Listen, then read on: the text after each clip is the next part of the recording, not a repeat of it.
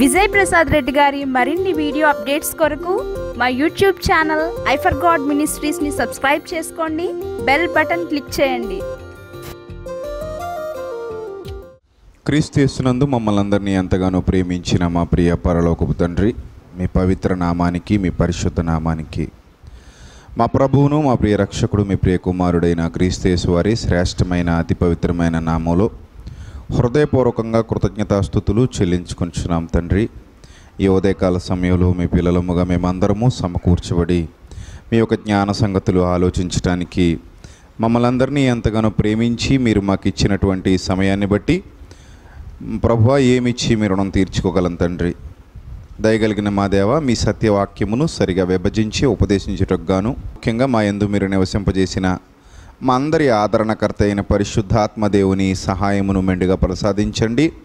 తండ్రి మీ పిల్లలు కేవలం వినువారు మాత్రమైండి తమను తాము మోసగించుకోకుండా వింటున్నటువంటి మాటల ప్రకారంగా ప్రవర్తించగలిగే ధన్యత ప్రతి ఒక్కరికి అనుగ్రహించమని త్వరలో మా కొరకు రానయున్న ప్రభువును మా ప్రియ రక్షకుడు మీ ప్రియ కుమారుడైన క్రీస్తు వారి శ్రేష్టమైన నామంలో ఈ ప్రార్థన మనవులు అడిగి వేడుకొనుచున్నాం మా కన్న తండ్రి. ఆమెన్. ప్రియమైన దేవుని వర్లరా దేవాది దేవుని మహాకృపను బట్టి మరలా ఈ ఉదయకాల సమయంలో దేవుని యొక్క జ్ఞానాన్ని ఆలోచించడానికి మనలందరినీ సమకూర్చి సజీవుల లెక్కలో ఉంచి ఇక్కడ వరకు నడిపించినటువంటి మన కన్న తండ్రికి తండ్రి అయిన దేవునికి మన రక్షకుడైన యేసుక్రీస్తు వారి పేరట హృదయపూర్వకంగా కృతజ్ఞతాస్థుతులు చెల్లిస్తున్నాను. యుగముల వరకు మనందరి ద్వారా నిత్యము దేవుని నామానికి మహిమ కలుగునుగాక. ఆమెన్. ప్రియులరా అనేకమైన వాస్తవాలు దైవ గ్రంథంలో నుండి మనం నేర్చుకుంటున్నాం. అలాగే ఆయన మాటలను బట్టి మనం బలపరచబడుతున్నాం. ఆయన మాటల లోతుల్లోనికి మనం ప్రవేశిస్తున్నాం. ఆయన మాటల ద్వారా అనేకుల్ని బలపరిచే విధంగా మనం ఉంటున్నాం. ఆ ధన్యత దేవుడే మనకి అనుగ్రహించారు. వాక్యం అనేది ఒక మనిషి జీవితాన్ని నిర్దేశించేది అని ఇప్పటికే ఎన్నో సందర్భాల ద్వారా మీరు తెలుసుకున్నారు. ఒక మనిషి జీవితాన్ని నిర్దేశించేది వాక్యం ఆ వాక్యానికి మనిషి లోబడినప్పుడు. ఒక మనిషి జీవితాన్ని బాగు చేసేది వాక్యం ఆ వాక్యానికి మానవుడు పూర్తిగా తన హృదయాన్ని ఇచ్చినప్పుడు. ఒక మనిషి జీవితాన్ని చక్కదిద్దేది వాక్యం మానవుడు తన హృదయంలో ఆ వాక్యాన్ని పదిలిపరుచుకోవటానికి ఇష్టపడినప్పుడు. ప్రియులరా ఈరోజు ఈ వాక్యం మనలో ఉన్న భయాలు తొలగించడానికి మనలో ఉన్న అపోహలు తొలగించడానికి మానవుడిగా ఈ భూమి మీద ఒక సుస్థిరమైన స్థానాన్ని మనం కల్పించుకొని తద్వారా మన గమ్యస్థానమైన మహాలోకాన్ని చేరుకోవడానికి ఆత్మీయంగా శారీరకంగా మనల్ని అభివృద్ధి పరచడానికి మనల్ని బలపరచడానికి ఈ లోకంలోని సాతాను మాయలకు లొంగిపోకుండా మనల్ని మనం కాపాడుకోవటానికి మోసపూరితమైన ఆలోచనలకు కృంగిపోకుండా మనల్ని మనం భద్రపరుచుకోవటానికి అనేక విధాలుగా దేవుని వాక్యం ఎప్పుడూ కూడా మనకు ఉపయోగపడుతూ ఉంది. ఒక మొక్కలో చెప్పాలంటే ఒక మనిషి ఈ భూమి మీద ఊపిరి ఎలా తీసుకుంటాడో ఊపిరి విడువటం ఊపిరి విడిచిపెట్టడం ఊపిరి వదిలేయటం అంటే అది శవంగా మారిపోవడం అని అర్థం. ఒక మనిషి ఊపిరి ఎలా తీసుకుంటాడో దేవుని వాక్యం కూడా మనిషిని అలా వెంటాడుతూ ఉంటుంది ఊపిరి కంటే ఎక్కువగా. దాన్ని మనం స్వీకరించినప్పుడు. అంటే ప్రతి అడుగులోనూ వాక్యం మనకి తోడై ఉంటుంది. అందుకే దావీదు గారు మాట్లాడుతూ గత వారాల్లో మీకు చూపించాను నీ వాక్యం నా పాదములకు దీపము అన్నాడు. అంటే ప్రతి అడుగు ఆచితూచి వేయటానికి ప్రతి అడుగులోనూ ఆ అడుగును పరీక్షించుకోవటానికి ప్రతి క్షణం భద్రతనిచ్చేది వాక్యం జాగ్రత్త చెప్పి నడిపించేది వాక్యం ముఖ్యంగా ధైర్యాన్ని ఇచ్చేది వాక్యం. జీవితం అన్నాక సవా లక్ష సమస్యలు సవా లక్ష కష్టాలు కన్నీళ్ళు ఎరుకులు ఇబ్బందులు. అసలు యుద్ధకాలం అన్నాడు భక్తుడు. భూమి మీద మానవ జీవితాన్ని గురించి మాట్లాడుతూ భూమి మీద నరుల కాలాన్ని ఏ కాలం అన్నాడు? యుద్ధకాలము కాదా అన్నాడు. అంటే యుద్ధంతో సమానంతో సమానంగా జీవితాన్ని పోల్చాడు. యుద్ధం అని ఎందుకన్నాడు ప్రతి క్షణం కూడా మనం పోరాడుతూ ఉంటాం కాబట్టి. జీవితంలో ఎప్పుడు ఎలాంటి పోరాటాన్ని ఎదుర్కోవాల్సి వస్తుందో మనకు తెలియదు కాబట్టి. మనం పోరాడవలసిన వారము కాబట్టి. అలాంటి పోరాటంతో ముందుకు కొనసాగుతున్నటువంటి మనకి ధైర్యం కావాలి.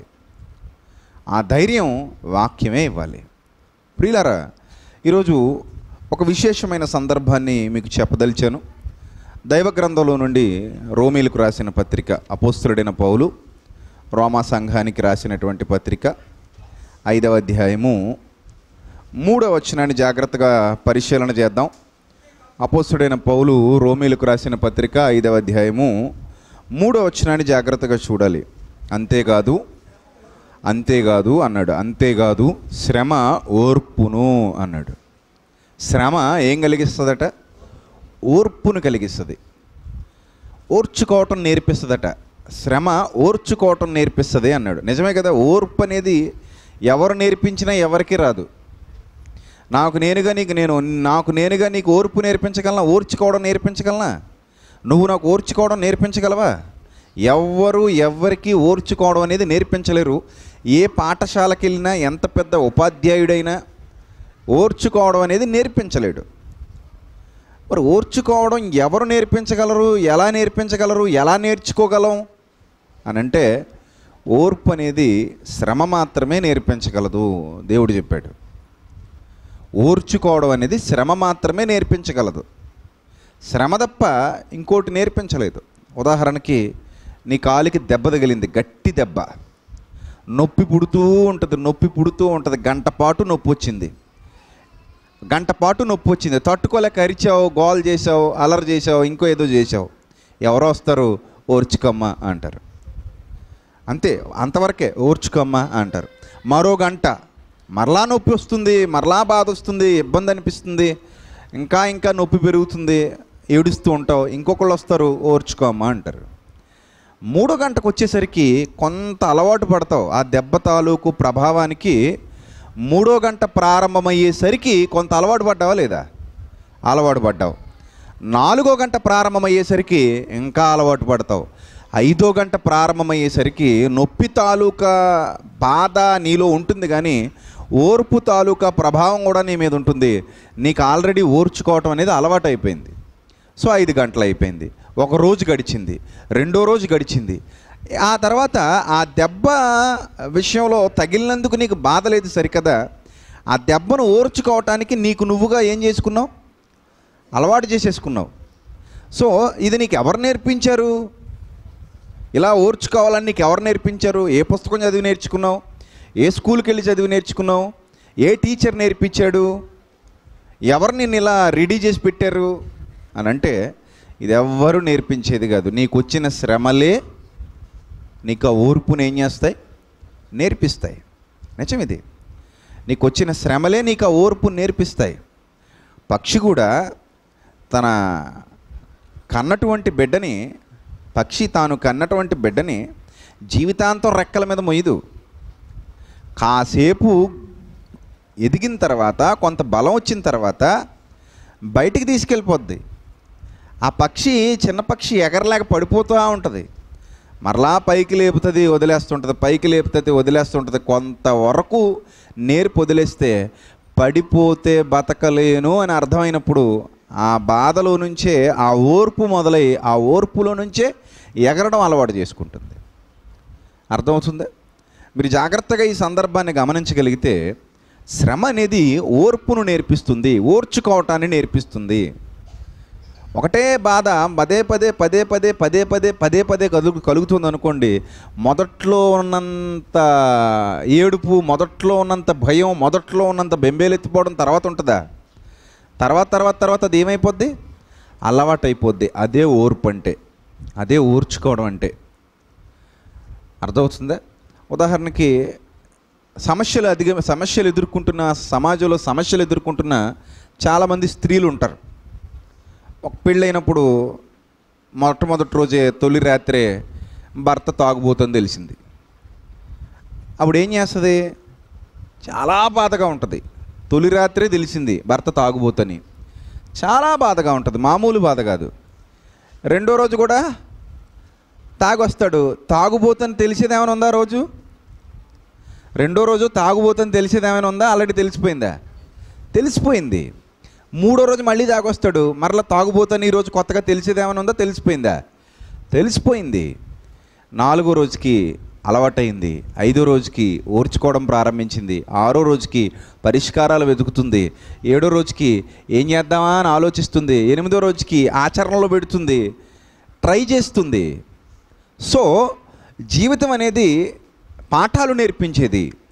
శ్రమలు అనేవి వచ్చినప్పుడు ఆ శ్రమ వల్ల ఓర్పు నేర్చుకుంటున్నాము అని పౌలంటూ శ్రమని అసహ్యమైన దానిగా శ్రమని బాధాకరమైన దానిగా శ్రమని నీచమైన దానిగా ఎంచలేదు. మీరు బైబిల్ బాగా పరిశీలన చేయాలి. బైబిల్ గ్రంథంలో ఒక శ్రమ రావటాన్ని అసహ్యమైనదిగా కానీ నీచమైనదిగా కానీ ఎంచలేదు. మరి ఏ ఇతర పుస్తకానికి లేనంత ఘనత ఈరోజు బైబిల్కి దక్కిందంటే కారణం మానవుని మనస్తత్వాన్ని బాగా అధ్యయనం చేసినటువంటి గ్రంథం ఏదైనా ఉంది అంటే అది బైబిల్ ఒక్కటే అని చెప్పాలి. మానవుని జీవితాన్ని ఎలా అధ్యయనం చేయగలిగింది? మానవుని మనస్తత్వాన్ని ఎలా అధ్యయనం చేయగలిగిందంటే ఆ వాక్యమే మానవుణ్ణి సృష్టించింది కాబట్టి ఆ వాక్యమే మనిషిని నిర్మించింది కాబట్టి ఆ మనిషి యొక్క హృదయాన్ని అంచనా వేయగలిగే కెపాసిటీ ఆ వాక్యానికే ఉంది ప్రియులారా. ఇప్పుడు ఈ వాక్యాన్ని జాగ్రత్తగా పరిశీలన చేస్తే శ్రమను అందరూ అసహించుకుంటారు. శ్రమలు వచ్చాయి ఎవరికి ఇష్టం ఉండదు. శ్రమలు వచ్చాయి ఎవరికి నచ్చదు. కానీ శ్రమను దేవుడు అసహించుకోమని చెప్పలేదు. నీచమైనదిగా తృణీకరించబడేదిగా ఎంచలేదు. మరి ఎలా ఎంచాడంటే శ్రమ ఓర్పును అన్నాడు. ఓర్పు ఒక పరీక్ష పెడుతుంది అన్నాడు. ఎప్పుడైతే ఓర్పు వచ్చిందో ఓర్పు వచ్చిందో గెలుస్తావా ఓడిపోతావా అనే ప్రశ్నలు రెండే మిగులుతాయి. మీరు గమనించాలి బాగా. ఇప్పుడు ఆమె ముందు రెండు ప్రశ్నలు ఉన్నాయి. ఒకటి తాగుడు నుంచి భర్తను విడిపించాలి లేదా ఆ తాగుడు వలన వచ్చే సమస్యల్ని భరించాలి. రెండే రెండు ఉన్నాయి ఇప్పుడు. ఒకటి గెలవాలి లేకపోతే ఓటమిని భరిస్తూ బతకాలి. పరిష్కారం రెండే రెండు దారులు. పరిష్కారాలు ఏమీ లేవు ఇంకా సమస్యకి. విపరీతంగా తాగుస్తుంటాడు కొంతమంది కొడుతుంటారు కొంతమంది ఇంట్లోనే బట్టుకెళ్ళిపోతుంటారు మూర్ఖులు ఇక వీళ్ళు ఏం చేయలేరు. వేరే దారి లేని పరిస్థితి. వాళ్ళకా అర్థం కాదు. ఎందుకంటే వాడికి అవతల వాళ్ళ నొప్పి తెలియదు అవతల వాళ్ళ బాధ వాడికి తెలియదు సో ఈ ఓర్పు దేని నేర్పించింది? పరీక్షను నేర్పించింది పరీక్షను కలిగించింది. ఓర్పు ఒక పరీక్ష పెట్టింది. ఓర్పు ఒక పరీక్ష పెట్టింది. ఆ పరీక్షను రాస్తుందన్నమాట ఇప్పుడు. ఓర్పు ద్వారానే ఏమొచ్చింది? పరీక్ష వచ్చింది. ఇప్పుడు పరీక్ష రాస్తుంది ఈమె. ఏంటి పరీక్ష రాయడం అంటే? వాడిని మార్చాలి అనే ప్రయత్నం. అదే పరీక్ష. వాడిని మార్చాలనే ప్రయత్నమే పరీక్ష. మీకు అర్థం కావాలని ఉదాహరణ చెప్తున్నాను. ఇది ఆత్మ సంబంధమైన విషయం. మెల్లిగా మీరు అక్కడికే వెళ్తారు ఇప్పుడు. వాడిని మార్చాలనుకున్నది ఏంటి? పరీక్ష. ఈ పరీక్ష దేని కలగజేసిందట? నిరీక్షణను కలగజేసిందట. నిరీక్షణ అంటే ఏంటో తెలుసా? ఇప్పుడు మార్చాలి అనే ప్రయత్నంలో ఏదో ఒక రోజు నేను విజయాన్ని సాధిస్తాను అనేదే నిరీక్షణ. బాగా అర్థం చేసుకోండి. నెంబర్ వన్ శ్రమ. నెంబర్ టూ పరీక్ష. నెంబర్ త్రీ నిరీక్షణ. ఆ నిరీక్షణ దేనికోసం అంటే ఏదో ఒక రోజు నేను విజయాన్ని ఖచ్చితంగా సాధించి తీరతాను. ఇప్పుడు ఈ పౌలు గారు ఈ సందర్భాన్ని ఎందుకు చెప్తున్నారంటే క్రైస్తవులుగా మీ జీవితంలో మీకు అనేకమైన శ్రమలు ఎదురవుతాయి. అనేకమైన నిందలు ఎదురవుతాయి. అనేకమైన అవమానాలు ఎదురవుతాయి. అనేకమైన ఇరుకులు ఎదురవుతాయి ఇబ్బందులు ఎదురవుతాయి వెన్నుపోట్లు ఎదురవుతాయి. బాధాకరమైన పరిస్థితులు మిమ్మల్ని ఎదుర్కొంటూ వస్తాయి. అలాంటప్పుడు శ్రమలు మిమ్మల్ని చుట్టుముట్టినప్పుడు శ్రమలు మిమ్మల్ని ఆవరించినప్పుడు జీవితం ఎప్పుడు సాఫీగా ఇలాగే సాగిపోద్దని అనుకోవద్దు. జీవితం ఎప్పుడు ఒకే విధంగా ఉంటుందని అనుకోవద్దు. ఒకే విధంగా ఏది ఉండదు. ఎప్పుడూ ఉండదు. మనం పుట్టినప్పటి నుంచి అదేలా ఉన్నామా? నీ శరీరంలోనే ఎన్నో మార్పులు వచ్చాయి. ఇప్పుడు ఎలా ఉన్నావు? రెండేళ్ళ క్రిందట ఎలా ఉన్నావు? నాలుగేళ్ళ క్రిందట ఎలా ఉన్నావు? పదేళ్ళ క్రిందట ఎలా ఉన్నావు? పుట్టుకలో ఎలా ఉన్నావు? సో నీ శరీరంలోనే ఏమొచ్చాయి? మార్పులు వచ్చాయి. జీవితం ఎప్పుడు ఒకలా ఉండదు. కాబట్టి అన్ని విషయాల్లోనూ మార్పులు వస్తూ ఉంటాయి. ఆ మార్పులు వస్తున్నప్పుడు శ్రమలు నీకు తారసపడుతూ ఉంటాయి. శ్రమలు నీకు వచ్చినప్పుడు శ్రమ నిన్ను ఆవరించినప్పుడు శ్రమ నీ జీవితంలో నీకు ఎదురైనప్పుడు కృంగిపోవద్దు అని ముందుగా తెలియజేస్తూ ఒక క్రైస్తవుడా ఒక క్రైస్తవురాలా శ్రమలు అనేవి ఓర్పును కలిగించడానికి వస్తాయి అని మొదట చెప్పాడు. ఇక తప్పదు అన్నప్పుడు ఏం చేయాలి? చెప్పండి. ఇక తప్పదు అన్నప్పుడు ఏం చేయాలి చెప్పండి? ఓర్చుకోవాలి. తప్పదు అన్నప్పుడు ఏం చేయాలి? ఓర్చుకోవాలి. వేరే దారి లేదు. తప్ప ఇంక నీకు తగ్గదమ్మా అన్నాడు. ఏం చేయాలి అప్పుడు? ఇంక నీకు తగ్గదు. ఏం చేయాలి? ఓర్చుకోవాలి. కిడ్నీ పేషెంట్లు చూస్తున్నాం కదండి మనం పాపం. వాళ్ళు నిజంగా వాళ్ళు అనుభవించే కర్మ అంతా ఇంత కాదు. కిడ్నీ ఫెయిల్యూర్ పేషెంట్లు ప్రతి వారం డయాలసిస్కి వెళ్ళాలి. డయాలసిస్కి వెళ్ళినప్పుడు వాళ్ళకి వేరే దారి లేదు. ఒకటే దారి. కిడ్నీ మార్చుకోవాలి. కిడ్నీ మార్చుకున్నా కూడా గ్యారంటీ ఉంటుందని చెప్పలేరు. మీరు కిడ్నీ మార్చేసుకున్నా మీకు గ్యారంటీ ఉంటుందని చెప్పలేరు. సో ఒకటి కిడ్నీ మార్చుకోవాలి లేకపోతే ఓర్చుకోవాలి. కిడ్నీ మార్చుకునే అవకాశం లేదండి. ఇప్పుడు ఏం చేయాలి? ఓర్చుకోవాలి ఓర్చుకోవాలి ఓర్చుకుంటున్నారు. ఆ ఓర్పు ఒక పరీక్ష పెట్టింది వాళ్ళకి. డయాలసిస్కి వెళ్ళకపోతే చచ్చిపోతావు. చేయించుకుంటే బతుకుతావు. సరిగ్గా చేయించుకుంటే కొన్నాళ్ళకి బతికే అవకాశం ఉంది. నీ కిడ్నీని సరిగ్గా మందులు వాడుకుని చక్కగా పెట్టుకో. ఓర్చుకో. సరే. వెళ్తున్నారు.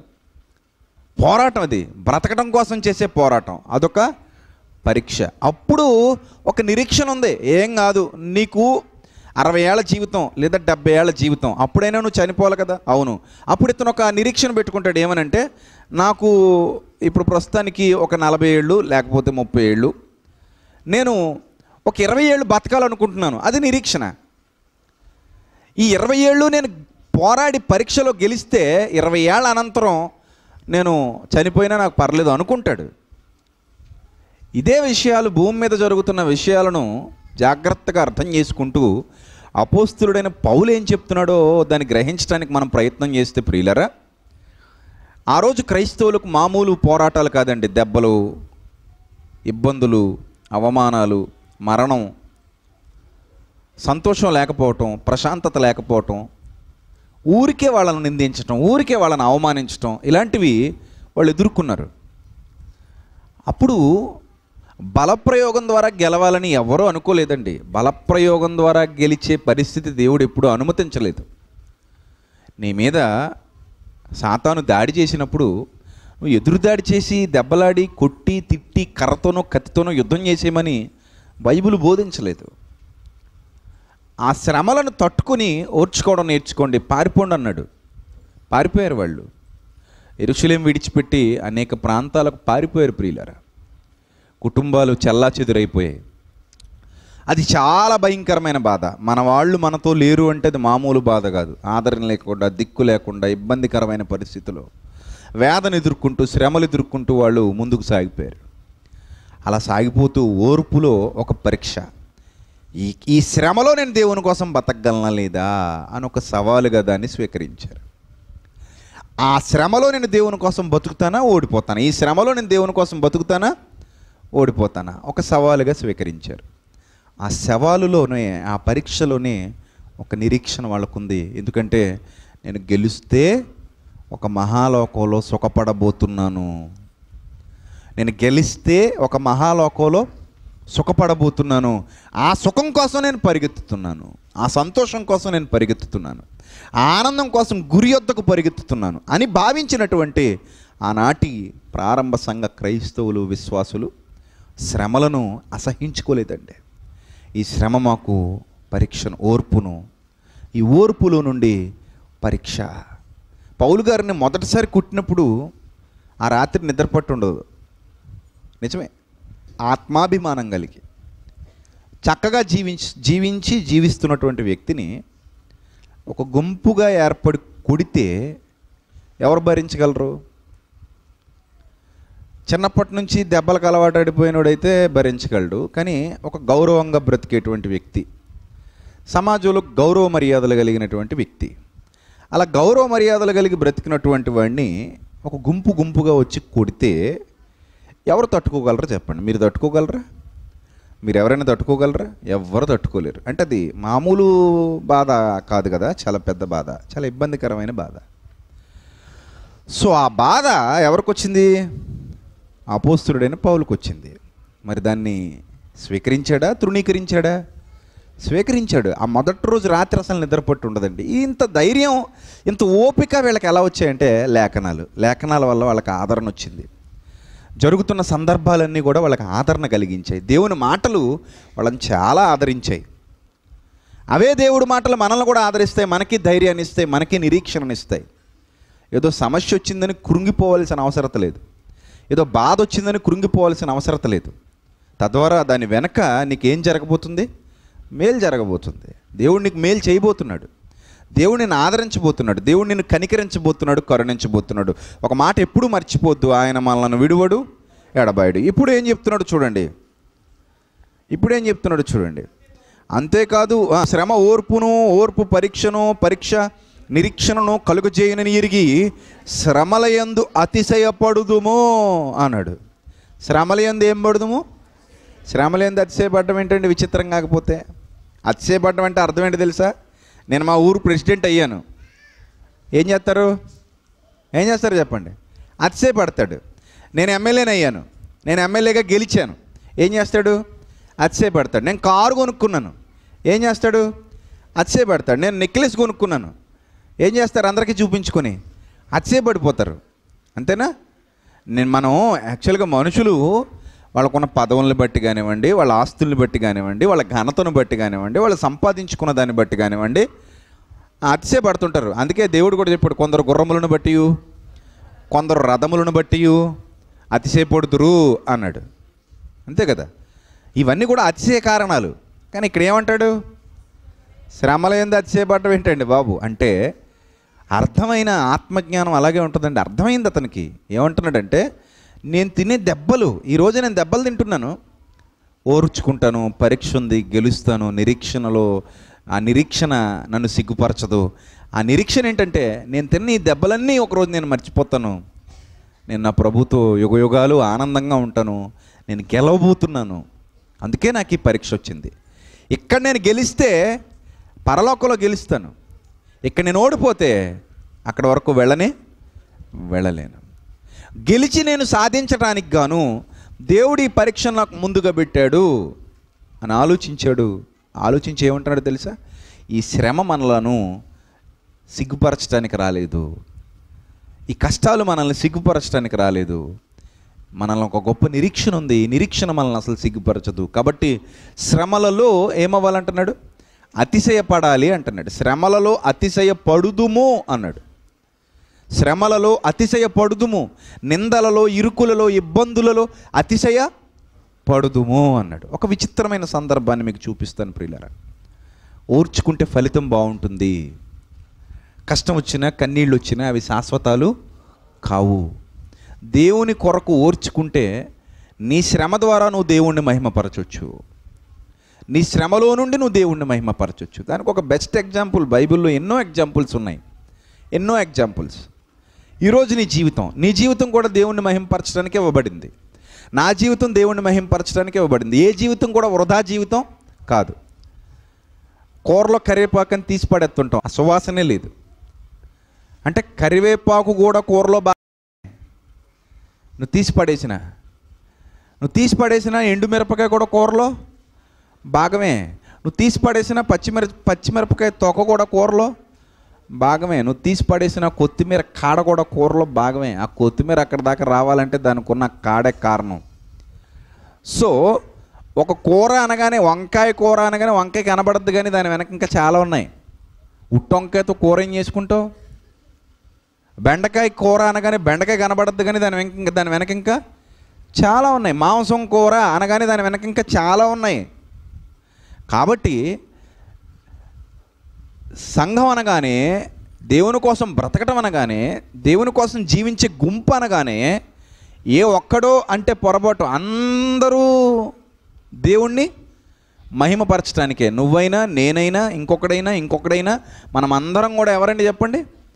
దేవుణ్ణి మహిమపరచడానికే ఎవ్వరు తృణీకరింపబడేవారు ఎవరిని తృణీకరించాల్సిన అవసరత లేదు. నీ బ్రతుకు నా బ్రతుకు మనందరి బ్రతుకు దేవుని మహిమార్థమై మనకి ఇవ్వబడినటువంటి బ్రతుకు.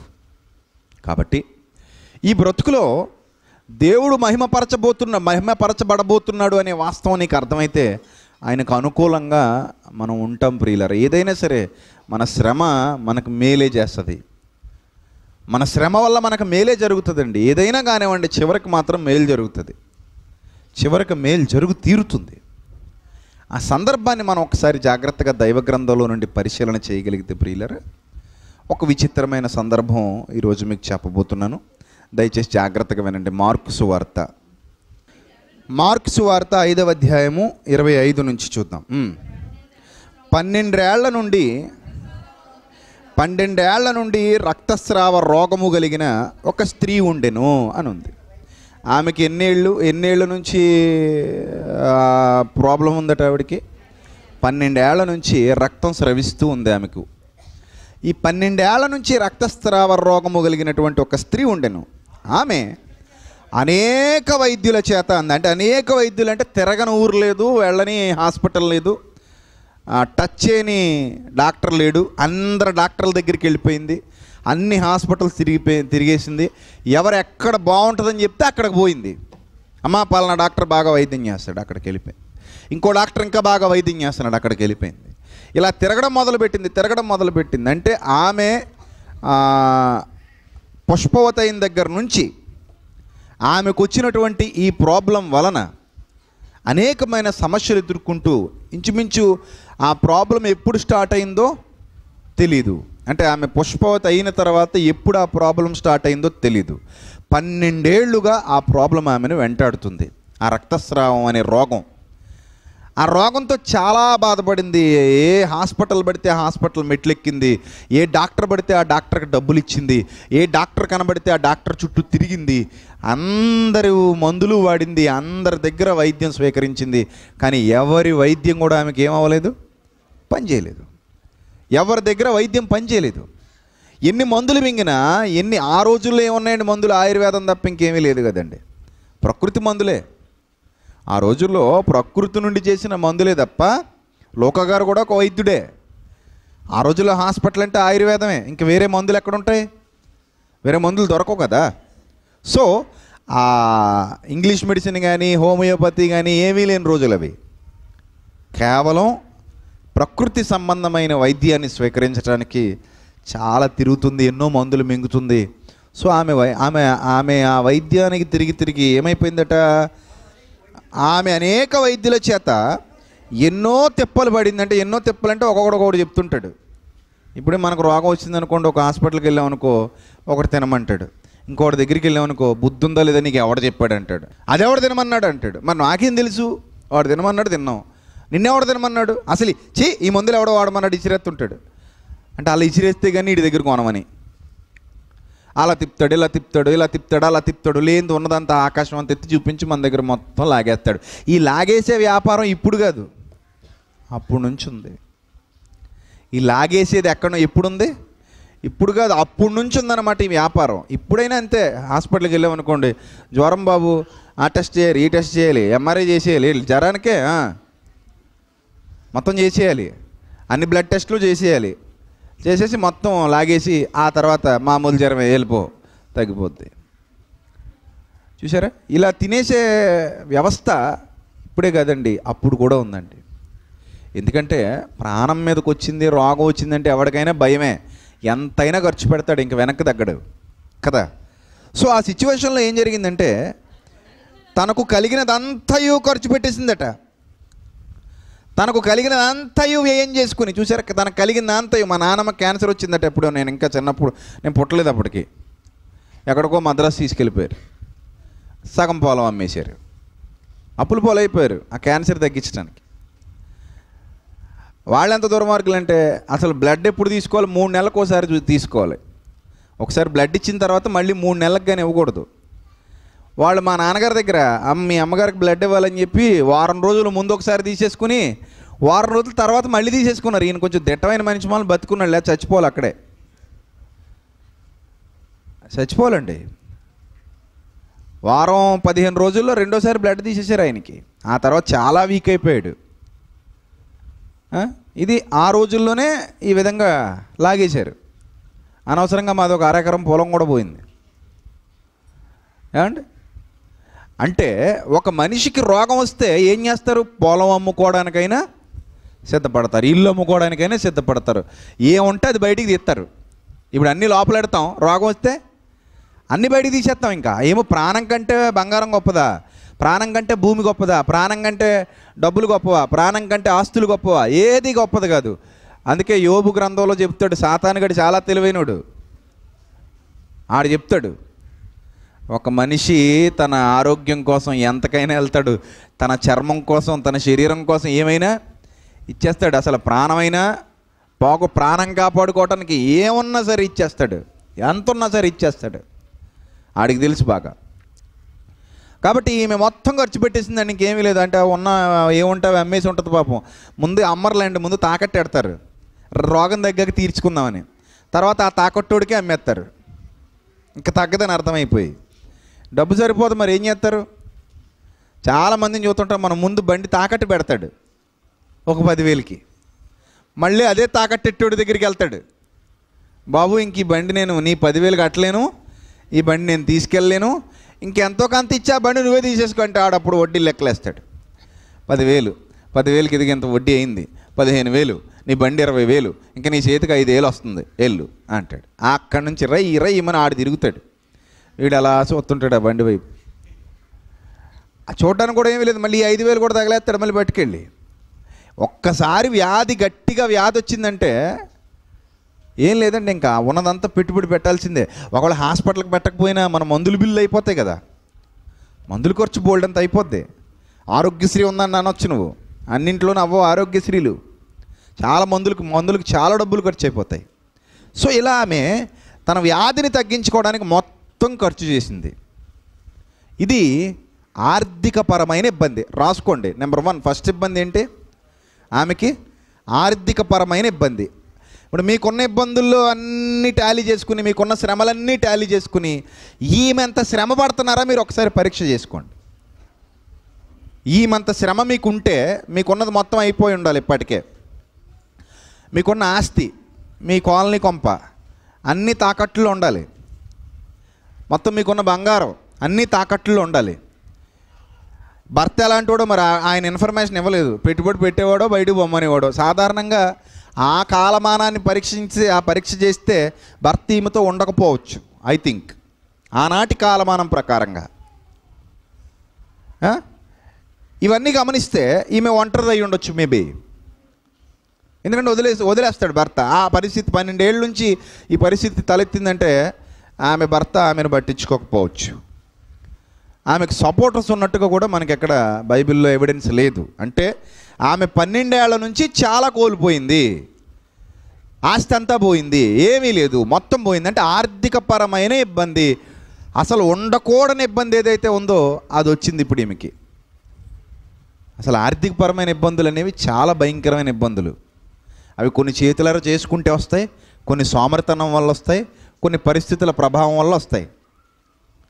ఈ ఆర్థికపరమైన ఇబ్బంది అనేది చాలా బాధాకరమైంది. అంటే డబ్బు లేకపోవటం ఎక్కడికి వెళ్ళినా ఏమీ దొరకపోవటం. ఈ ఈ వ్యయం చేసి మొత్తం కోల్పోయింది.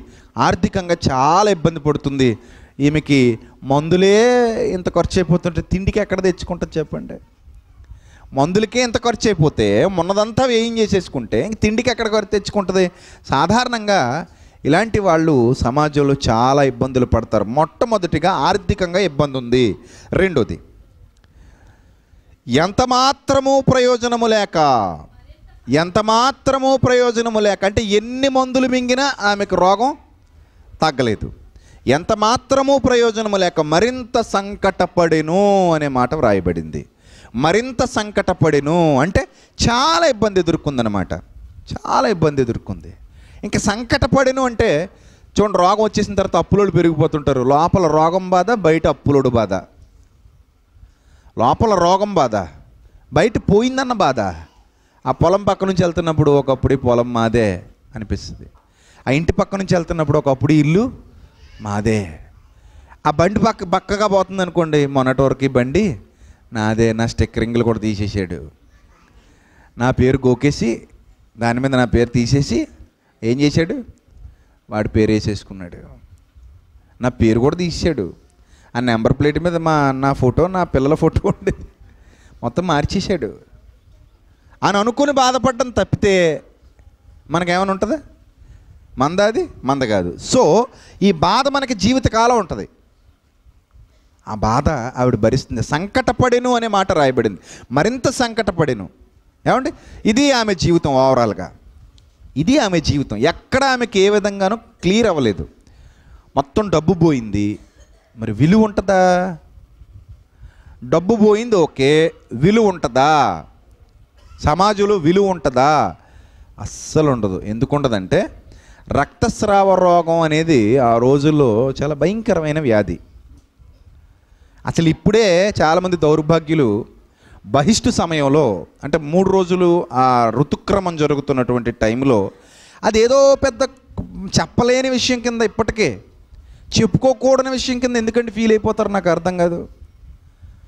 అదంతా చెప్పుకోకూడదా? దేవుడు ఏర్పాటు చేసిన క్రమం అది. అదంతా చెప్పుకోకూడదే కాదు. దానికి సిగ్గుపడిపోయి తట్లో బుర్రెట్టేయాల్సిన అవసరం ఏమీ లేదు.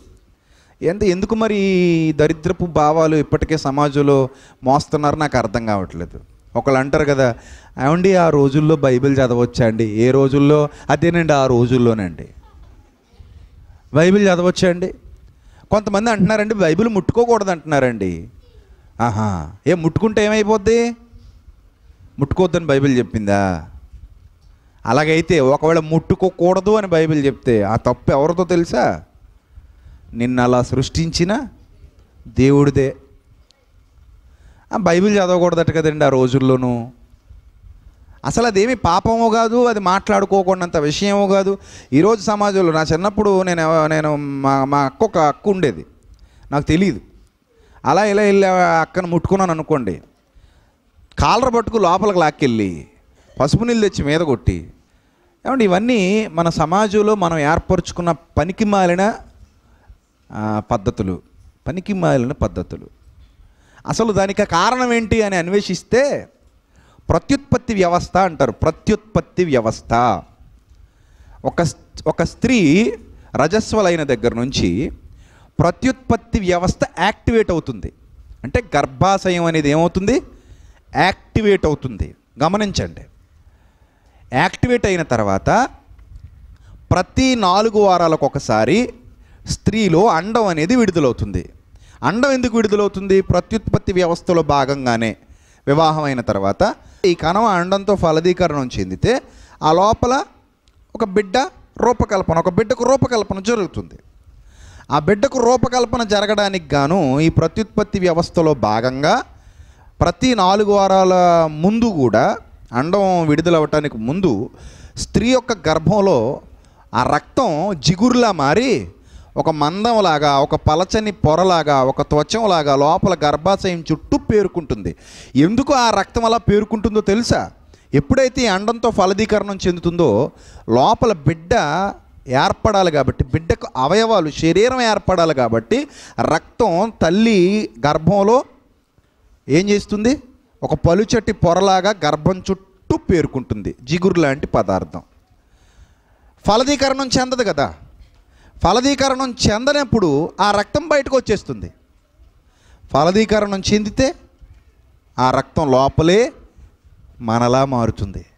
ఇప్పుడు ఏ స్త్రీనైతే నువ్వు అవమానించి మో మూడు రోజులు ముట్టుకోకు పట్టుకోకు దగ్గర రాకు దూరంగా పో బైబిల్ ముట్టుకోకు అలా ముట్టుకోకు అంటున్నావో ఆ స్త్రీలోని బాగా బాగానివే నువ్వు. ఆ రక్తం గడ్డగడితేనే నువ్వయ్యావు. అందుకే పాటలో రాశాను. ఆ రక్తం గడ్డగడితేనే ఎవరయ్యారు? నువ్వయ్యా నేను నిన్ను కూడా ముట్టుకోకూడదు అనమాట అర్థమవుతుందా నీకు నా భాష? ఆ పలచటి ఆ పొరలో రక్తం స్రవించి ఆ రక్తం ఒక జిగురు లాంటి పదార్థంగా ఏర్పడి అండంతో ఫలదీకరణం చెందిన క్రమంలో నువ్వు నేను బయటకు వచ్చాం ఇలా ఆకారాలతో.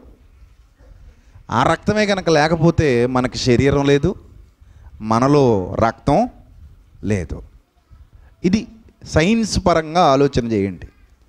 ఆ చిన్న విషయాన్ని తీసుకొచ్చి చెప్పుకోకూడదంత పాపం చేసినట్టు ఇదేదో భయంకరమైన నేరం అయినట్టు దాని గురించి మాట్లాడకూడదన్నట్టు దాని గురించి చెప్పకూడదన్నట్టు ఈరోజు సమాజాన్ని ఒక మోస పద్ధతిలో నొక్కేసి ఉంచేశారు. ఆ రోజు మరి ఆమెకి ఆ బాధ ఎంత బాధ అండి అది ఎంత భయంకరమైన బాధ అది బహిష్టు సమయంలో ఆమె వస్త్రధారణ ఆమె వేషధారణ ఏ విధంగా ఉండుంటుంది? అది అర్థమైనప్పుడు ఆమెను ఎంత కించపరిచి మాట్లాడుంటారు ఎంత అవమానపరిచి మాట్లాడుంటారు ఈ రోజుల్లోనే దగ్గర రానివ్వట్లేదు ముట్టుకోరంటారు. ఆ రోజుల్లో మరి ఇంకెన్ని ఉండుంటాయి? పోనీ విచిత్రం చెప్పమంటారా? ఆడవాళ్ళు సమస్య ఎదుర్కొంటున్నప్పుడు మగవాళ్ళని మగవాళ్ళు అవమానించారంటే ఒక అర్థం ఉంది. ఎందుకంటే వాళ్ళకి ఈ సమస్య లేదు కాబట్టి లేదనకుండా ఉంది. అది కూడా చెప్తాను ఇప్పుడు. ఆ సమస్య వాళ్ళకి ఉంది వాళ్ళకి తెలియదు కాబట్టి వాళ్ళు అవమానించారంటే ఒక అర్థం ఉందండి. ఆడవాళ్ళని ఆడవాళ్ళే అవమానించే పరిస్థితి ఉందండి ఆ సమయంలో. ఏయ్ నువ్వు ఈ టైంలో నన్ను ముట్టుకోకూడదు. సిగ్గులేదా మా ఇంటికి వచ్చావు. ఇలా గడప దాటేసేవేంటి? అలా చేసేవేంటి? ఇలా చేసేవేంటి? అసలు ఎన్ని రిస్ట్రిక్షన్స్ అండి బాబు. ఏదో వాళ్ళకి వాళ్ళకి గర్భం లేనట్టు వాళ్ళకి జరగనట్టు. దీని గురించి ఎందుకు మాట్లాడుకోకూడదు? కొంచెం మైండ్ని విస్తృతం చేసి దైవ కార్యక్రమం అది. మానవుడెవడు చేసింది? కాదు. సిగ్గుపడవలసిన విషయాలు సమాజంలో చాలా ఉన్నాయి. వాటి గురించి సిగ్గుపడండి. మోహపు చూపుల విషయంలో సిగ్గుపడండి. వ్యభిచారం విషయంలో సిగ్గుపడండి. అపవిత్రత విషయంలో సిగ్గుపడండి. నీచమైన కార్యాల విషయంలో సిగ్గుపడండి. అపవిత్రమైన మాటలు మాట్లాడుతున్నందుకు సిగ్గుపడండి. దేవుని కోసం బ్రతకనందుకు సిగ్గుపడండి. దేవుని ఇష్టాన్ని నెరవేర్చనందుకు సిగ్గుపడండి. అంతేగాని దేవుడు ఏర్పరిచిన కార్యక్రమం విషయంలో దేవుడు ఏర్పాటు చేసిన విధానం విషయంలో సిగ్గుపడాల్సిన అవసరత లేదు. దానికి తలదించేసుకుని అమ్మో ఇదేటండి బాబు ఈరోజు ఇలాంటి ప్రసంగం అని అనేసుకోవాల్సిన అవసరత ఏమీ లేదు. అందులో ఏం తప్పు లేదు అదేం పాపం కాదు అది అసలు తప్పు కాదు. మీ పిల్లల్ని కూడా దయచేసి అలా పెంచకండి. మీ పిల్లలైనా కొంచెం అర్థం చేసుకునే వారిగా జ్ఞానం కలిగిన వారిగా పెంచండి. అర్థమవుతుందా? రైట్. ఇప్పుడు దీని గురించి ఇప్పుడే సమాజం ఎలా ఉందంటే మాట్లాడడానికి భయపడిపోతుంది ఇప్పుడే. ఇప్పుడే మాట్లాడడానికి భయపడిపోతుంది. ఇప్పుడే మాట్లాడడానికి సిగ్గుపడిపోతుంది. మరి ఇప్పుడే ఈ సమ ఈ సమాజం ఎలా ఉందంటే పూర్వకాలంలో ఎలా ఉందో మీరు ఆలోచన చేయండి ప్రియులరా? పూర్వకాలం ఎలా ఉందండి? ఈ విషయాలు సిగ్గుపడిపోతారు. జబర్దస్తులో డబల్ మీనింగ్ డైలాగులకు మాత్రం సిగ్గుపడరు. అందులో ఇంకా దరిద్రపు డైలాగులన్నీ పడుతుంటే అస్సలు సిగ్గుపడరు. నీచమైన డైలాగులు పడితే అస్సలు సిగ్గుపడరు. సినిమాలలో వచ్చే దరిద్రపు డైలాగుల గురించి సిగ్గుపడరు. కానీ సొంత కూతురే కన్న తండ్రితో ఈ విషయం గురించి చెప్పుకోవడానికి ఏమైపోద్ది? ఆ తప్పండి అది ఇది దేవుడు ఏర్పరిచిన కార్యక్రమం. సో ఇప్పుడు ఇవన్నీ మీకు ఎందుకు చెప్తున్నానంటే ఇప్పుడే జీర్ణించుకోవటం ఎంత కష్టంగా ఉంటే ఇప్పుడే మాట్లాడుకోవటానికి ఎంత నలిగిపోతుంటే రెండు వేల సంవత్సరాల క్రిందట ఎంత నలిగిపోవాలండి మరి? రెండు వేల సంవత్సరాల కిందట ఆమెను సమాజ మందిర్లోనికి రానివ్వరు. అది ఒక రక్తస్రావ రోగం వాళ్ళ దృష్టిలో. సో రానివ్వరు. ఒక పక్క వైద్యం వికటించింది తగ్గలేదు డబ్బులు అయిపోయాయి ఒక పక్క సమాజంలో విలువ లేదు గౌరవం లేదు. ఏంటి పరిస్థితి? ఇంకా ఘోరమైన విషయం చెప్పమంటారా? దీన్ని మెనిస్ట్రువల్ సిండ్రోమ్. ఈ ఫ్రీ మెనిస్ట్రువల్ సిండ్రోమ్ అనేది అసలు ఆ టైంలో వాళ్ళ ఆలోచనలు పూర్తిగా మారిపోతాయి. మూ ఆ మూడు రోజుల్లో వాళ్ళ ఆలోచనలు ఎందుకు మారిపోతాయంటే హార్మోనల్ ఇన్బ్యాలెన్స్ అంటారు. Hormonal imbalance. అంటే హార్మోన్స్ క్రమమైన పద్ధతిలో ఉండవు. ఎప్పుడు ఉన్నట్టుగా స్త్రీల దేహంలో ఆ టైంలో ఉండవండి. ఎందుకంటే అది ఒక మరో మరో మనిషికి జన్మనిచ్చే కార్యక్రమం ఏమనుకుంటున్నావు? అది జరగలేదు. అసలు ఆ రక్తం ఎందుకు ఏర్పడింది గర్భాశయంలో? నీలాంటి నాలాంటి మరొకడికి జన్మనివ్వడానికి. అర్థమవుతుందా? మనకు మనమే ఊహించుకుందాం అప్పుడు ఏ ఇబ్బంది ఉండదు. నాకు జన్మనివ్వడానికి నీకు జన్మనివ్వడానికి మన అమ్మ కడుపులో రక్తం ఏమైంది? గడ్డ కడుతుంది రక్తపు గడ్డలు రాక్షసులైతే అని రాశాను మానభంగం పాటలో. రక్తం గడ్డగడుతుంది. ఆ టైంలో హార్మోనల్ ఇన్బ్యాలెన్స్. ఆ హార్మోన్ల ఇన్బ్యాలెన్స్ వల్ల ఆ ప్రభావం వల్ల ఒక్కో స్త్రీ ఒక్కో విధంగా ఇబ్బంది పడదు అందరిలోనూ ఉంటుంది నేను చెప్పను కానీ చాలామంది ఆ మూడు రోజుల పాటు చాలా ఇబ్బంది ఎదుర్కొంటారు. మెంటల్గా అప్సెట్ అయిపోయి ఉంటారు. వాళ్ళు ఏం మాట్లాడతారో వాళ్ళకి తెలియదు వాళ్ళు ఎలా బిహేవ్ చేస్తారో వాళ్ళకి తెలీదు. చాలా వీక్గా ఉంటారు. చాలా బాధ అనుభవిస్తారు. ఆ మూడు రోజులే ఎంత బాధ ఉంటే కొంతమంది కాదు కొద్దిగా డిజార్డర్ అయిపోద్ది. డిస్పారిక్ డిజార్డర్ అంటారు. చాలా భయంకరమైన డిజార్డర్ అది. సో వాళ్ళు ఇంకా తీవ్రమైన స్థాయికి వెళ్ళిపోతారు. తిట్టడం ఊరికే కోప్పడడం ఒక పనికిమాలిన విషయం కోసం రచ్చరచ్చ చేసేయడం వాళ్ళు అసలు ఎందుకు అలా అయిపోయారో మనకే అర్థం కదా. మొన్నటి వరకు బాగానే ఉన్నారు కదా ఎందుకు ఏడుస్తున్నారు వీళ్ళు? ఎందుకు ఇలా బిహేవ్ చేస్తుంది అమ్మాయి? ఎందుకు ఇలా బిహేవ్ చేస్తుంది ఈమె? అనే భావాలు మనకే వచ్చేస్తాయి. అంటే ఆ టైంలో వాళ్ళకి తెలియకుండానే హార్మోనల్ ఇన్బ్యాలెన్స్ వల్ల ఒక విడుదల కాకూడని హార్మోన్లు వాళ్ళ శరీరంలో విడుదల కావటం వల్ల వాటిలో వాటి మధ్యలో సమతుల్యత లేకపోవటం వల్ల చాలా సమస్య ఎదుర్కొంటారు. ఎవరికి చెప్పుకోలేరు. మానసిక రుగ్మత. ఎవరికి చెప్పుకోలేరు ఎవరితో మాట్లాడుకోలేరు ఎవరికి వాళ్ళు విశదీకరించలేరు వివరించలేరు చెప్తే అర్థం చేసుకుంటారో లేదో కూడా తెలియని పరిస్థితి. ఆ టైంలోనే వాళ్ళ పనులు వాళ్ళు చేయాలి. ఇంకా గృహిణి అయితే వంట చేసుకోవాలి ఇంటి పని అంతా చూసుకోవాలి అన్ని పనులు చేసుకోవాలి. ఎంత ఇబ్బందిగా ఉన్నా తన బాధలు తను భరించాలి. అవతల ఉన్న దరిద్రుడు అర్థం చేసుకుంటాడో అర్థం చేసుకోవడం కూడా తెలియదు ఆ మగోడు. వాడు అర్థం చేసుకోకపోతే ఇంకా తలపోటు. వాడు ప్రేమించని వాడైతే ఇంకా బాధపడాలి ఇంకా ఆవేదన పడాలి. ఇన్ని సమస్యలు ఆ టైంలో ఉంటాయి. ఆలోచించండి ఒక్కసారి. కొంతమందికి అది పెద్ద సమస్య పెద్ద వ్యాధిలా మారిపోద్ది. ఆ మూ ఆ- మూడు రోజుల టైంలో వాడు పిచ్చోళ్ళ బిహేవ్ చేస్తూ ఉంటారు. ఒక రకంగా చెప్పాలంటే. సో ఈ సిచ్యువేషన్లో ఆ మూడు రోజులకే అంత భయంకరమైన పరిస్థితి ఉంటుంది అనుకుంటే అంత భయంకరమైన పరిస్థితి ఉంటుంది అనుకుంటే ఈమెకి మూడు రోజుల జీవితం అంతా ఉందా? పన్నెండేళ్ళ నుంచి పిచ్చిదైపోవాలండి ఈమె ఒక మొక్కలో చెప్పాలంటే. పన్నెండేళ్ళ నుంచి ఇదే విధంగా జరుగుతుంది కాబట్టి ఈమె ఏమైపోవాలి? పిచ్చిదైపోవాలి. ఎవరన్నా అయితే పిచ్చోళ్ళు అయిపోతారు. ఆ రోజుల్లో ఇంకా గట్టి శరీరాలు గట్టి ఆహారం కల్తీ లేని ఆహారం కాలుష్యం లేని ఆహారం అది కొంతవరకు ఈమెను కాపాడు ఉండాలి నా లెక్కల ప్రకారంగా. ఈ రోజుల్లో అయితే కష్టమండి. నిరంతర రక్తస్రావం వల్ల బ్రతకటం కష్టం. ఈ రోజుల్లో అయితే ఖచ్చితంగా బ్లడ్ ఎక్కించాలంటారు. అది గర్భాశయ క్యాన్సర్కి కూడా దారి తీయొచ్చు. అదొక వ్యాధి. రక్తస్రావం అది క్రమంగా జరగాల్సింది క్రమంగా జరగట్లేదు ఆమెకి. క్రమంగా జరగాల కార్యక్రమం ఋతుక్రమం అనేది క్రమంగా జరగాలి. ఆ క్రమం తప్పిందనమాట క్రమం తప్పటం వల్ల ఆమెకు నిరంతరం బాడీలో నుంచి బ్లడ్ ఏమవుతుంది? స్రవిస్తుంది. రక్తస్రావం అంటే బయటికి పోతుంది.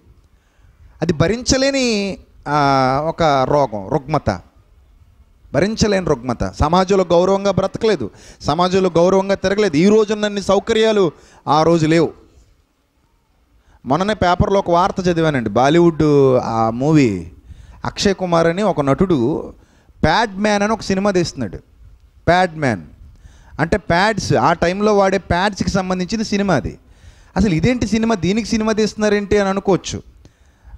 అసలు దాని గురించి ఒక వ్యక్తి ఒక పురుషుడు అర్థం చేసుకుని స్త్రీల యొక్క సమస్య అర్థం చేసుకుని ఆ ప్యాడ్స్ తయారు చేశాడు. ఆ టైంలో ఈ విషయాన్ని ప్రకటించినందుకే వాడిని కుక్కను చూసినట్టు చూశారు అతన్ని. ఇప్పటికీ బతికే ఉన్నాడు ముసలాయన.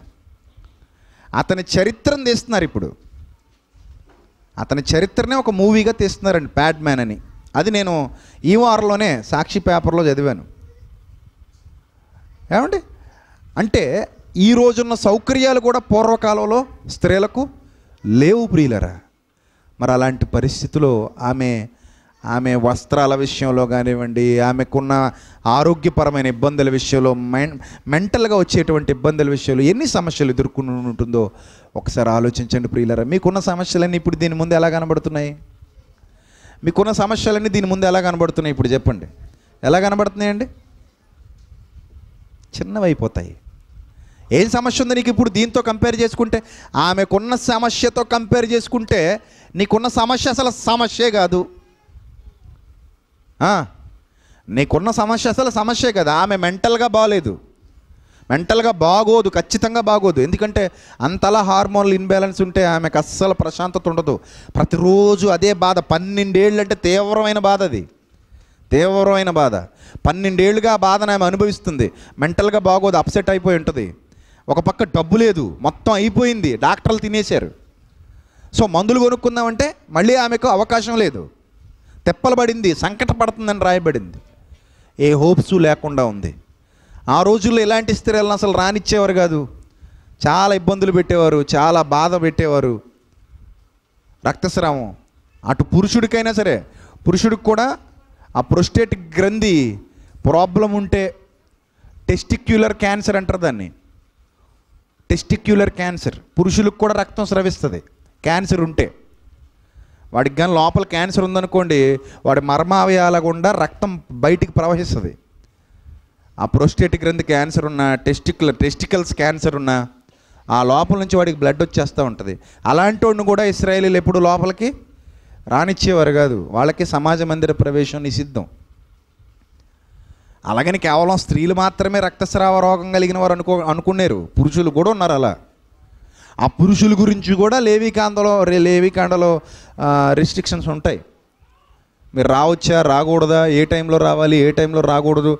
అది కూడా ఒకసారి చూద్దాం చూడండి. లేవికాండం లేవికాండం పదిహేనవ అధ్యాయం మొదటి వచ్చినవా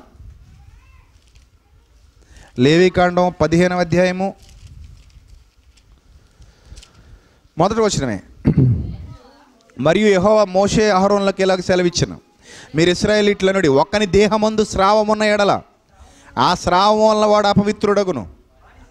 వాని స్రావము కారినను కారకపోయినను ఆ దేహస్థితిని బట్టి వాడు అపవిత్రుడగును. అంటే ఆ స్రావం ఎక్కువగా ఉన్నా తక్కువగా ఉన్నా వాడు ఒక పురుషుడు గురించి చెప్తున్నాడు ఇక్కడ స్త్రీ గురించి కాదు. ఒక పురుషుడి శరీరంలో కూడా ఏముంటుంది? రక్తస్రావం ఉండొచ్చు ఒక్కోసారి ఆ స్రావము గలవాడు పడుకునే ప్రతి పరుపు అపవిత్రం. వాడు కూర్చున్న ప్రతి వస్తువు అపవిత్రం. వాడు పరుపును ముట్టువాడు తన బట్టలు తుక్కొని నీళ్ళతో స్నానం చేసి సాయంకాలం వరకు అపవిత్రుడై ఉండును అన్నాడు. దీని అర్థం ఏంటి? ఇలా ముట్టుకుని పారిపోయడం కాదు. పరుపును ముట్టువాడంటే.